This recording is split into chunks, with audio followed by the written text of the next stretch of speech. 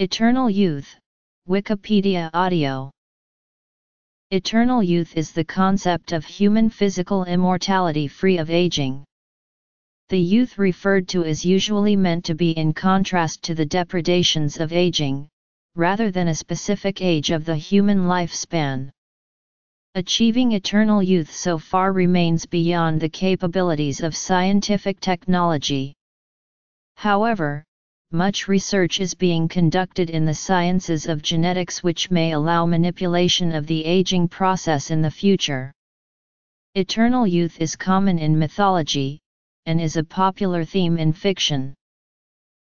Eternal youth is a characteristic of the inhabitants of paradise in Abrahamic religions. The Hindus believe that the Vedic and the post-Vedic rishis have attained immortality, which implies the ability to change one's body's age or even shape at will. These are some of the siddhas in yoga. Markandeya is said to always stay at the age of 16. Religion and mythology The difference between eternal life and the more specific eternal youth is a recurrent theme in Greek and Roman mythology.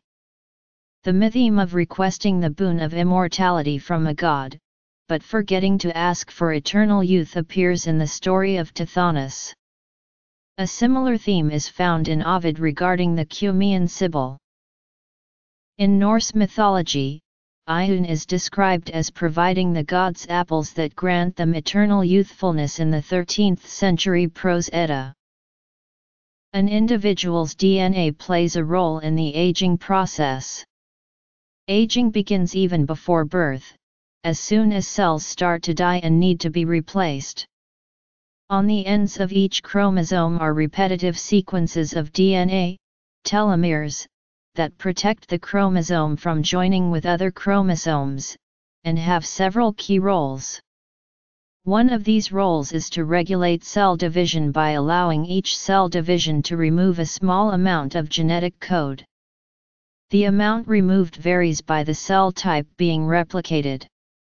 The gradual degradation of the telomeres restricts cell division to 40 to 60 times, also known as the Hayflick limit. Once this limit has been reached, more cells die than can be replaced in the same time span. Thus, soon after this limit is reached the organism dies. The importance of telomeres is now clearly evident, lengthen the telomeres, lengthen the life.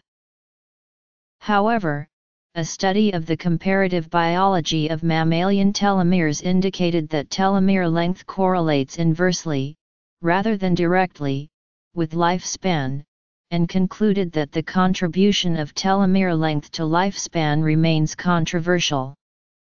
Also, telomere shortening does not occur with age in some postmitotic tissues, such as in the rat brain.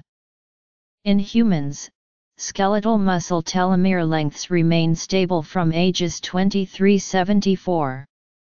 In baboon skeletal muscle, that consists of fully differentiated postmitotic cells, less than 3% of myonuclei contain damaged telomeres and this percentage does not increase with age.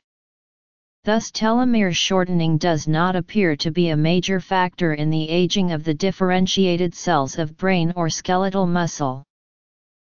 Studies have shown that 90% of cancer cells contain large amounts of an enzyme called telomerase.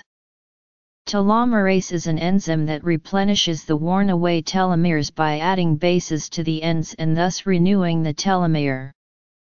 A cancer cell has in essence turned on the telomerase gene, and this allows them to have an unlimited amount of divisions without the telomeres wearing away. Other kinds of cells that can surpass the Hayflick limit are stem cells, hair follicles, and germ cells. This is because they contain raised amounts of telomerase. The idea that the human body can be repaired in old age to a more youthful state has gathered significant commercial interest over the past few years, including by companies such as Human Longevity Inc., Google Calico, and Elysium Health. In addition to these larger companies, many startups are currently developing therapeutics to tackle the aging problem using therapy. In 2015 a new class of drugs senolytics was announced designed specifically to combat the underlying biological causes of frailty. The loss of youth or aging process is responsible for increasing the risk of individuals to many diseases including cancer, Parkinson's, Alzheimer's, and others. As a result, in recent years, many high net worth individuals have donated large amounts of their money towards initiatives towards scientific research into the aging process itself or therapies to slow or reverse the aging process. These people include Peter Thiel, Aubrey de Grey, Larry Ellison, Sergey Brin, Dmitry Itskov, Paul Glenn, and Mark Zuckerberg. This would allow humans to extend or maintain their youth indefinitely. Telomeres. Therapy. Philanthropy